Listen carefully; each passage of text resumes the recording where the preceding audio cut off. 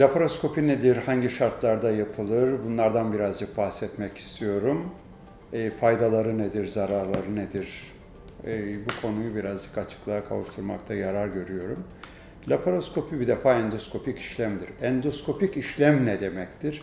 Endoskopik işlem içi boş organların görüntülenmesidir. Bu e, ilk defa tıpta böyle başladı. İçi boş organların içerisini görelim. Orada bir patoloji var mı yok mu onu tespit edelim. Daha sonra tıp gelişince, alet edevatlar geliştikçe oradaki patolojilerin, orada gördüğümüz bozuklukların da düzeltilmesi cihetine gidildi. Laparoskopi karın içine girip karın organlarının, karın içindeki organların görüntülenmesi e, anlamına gelen bir endoskopik işlemdir.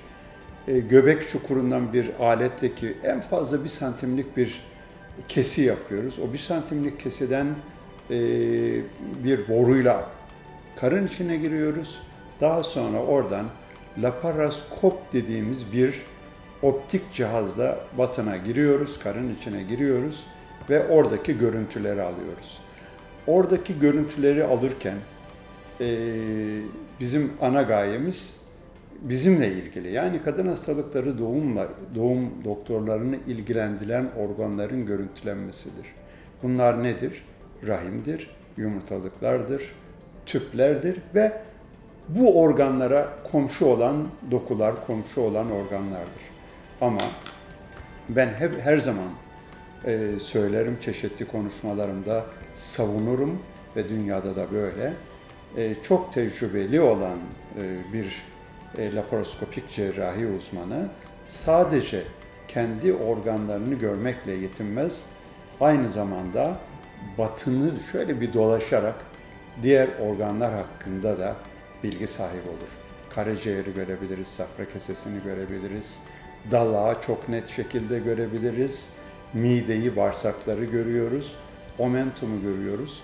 Eğer oralarda bir patoloji varsa da ilgili branşlardaki arkadaşlarımızı uyararak böyle böyle bir patoloji vardır diyebiliriz.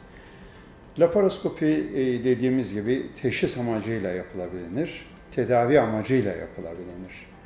Daha önce teşhisi konmuş bir işlemdir. Mesela rahimde bir ur vardır, miyom dediğimiz veya rahim büyümüyle, bütünüyle büyümüştür veya bir over kisti vardır veya bir dış gebelik vardır veya tüplerde büyük bir genişleme vardır.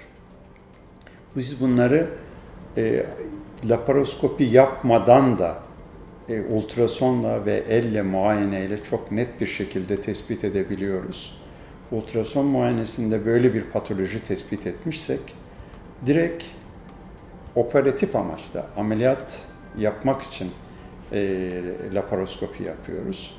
Yok bazı durumlarda var ki teşhis etmemiz lazım. Flu, diğer yöntemlerle ismini net koyamamışız. O durumlarda da diagnostik amaçla laparoskopi yapıyoruz. Hangi durumlar o durumlar? Ee, daha çok e, tüplerde bozukluk olduğundan şüphelendiğimiz durumlar oluyor.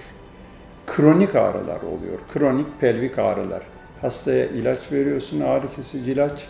ilaçla ağrı dinebiliyor daha sonra ilacın etkisi geçtikten sonra hala künt bir ağrı olabiliyor. Bu durumlarda tüplerde bir patolojiden şüphelendiğimiz durumlarda veya daha ileriki e, çekimlerimizde göreceğiz. Endometriozisten şüphelendiğimiz durumlarda diagnostik yani teşhis amacıyla laparoskopi yapmak gold standarttır. Çünkü laparoskopide net dokuları görebiliyoruz. Büyüterek görüyoruz. Çıplak gözle görüyoruz. Çok aydınlatılmış bir şekilde görüyoruz. Onun için e, teşhis net bir teşhistir. O esnada eğer hekimin deneyimi operatif, operatif laparoskopi yapacak bir deneyime sahipse hekim aynı anda oradaki patolojileri de gidermesi mümkündür.